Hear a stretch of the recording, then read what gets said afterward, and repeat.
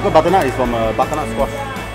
Ah, so I was cutting, cutting, and then it's my favorite color, orange. Yeah. And like butter is like indulgence, and then nut is probably a healthy healthy option. We want to bridge the gap between health conscious food and sinful delights.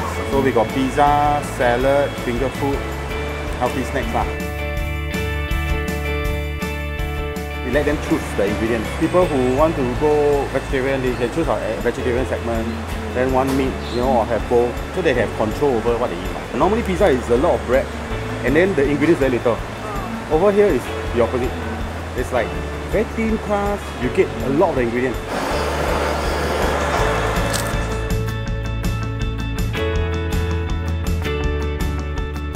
A lot of places uh, they just bake spaghetti or baked rice. So over here we use uh, brown rice, we use uh, quinoa. And recently also we upgraded our quinoa from the white one to the red one, which is actually premium. Sweet potato is one of our hot finger food also. Here I use cinnamon and sour plum powder mix, you know like the Taiwan flavor. We are offering butternut for a general public, and so healthy like it's a way to go lah.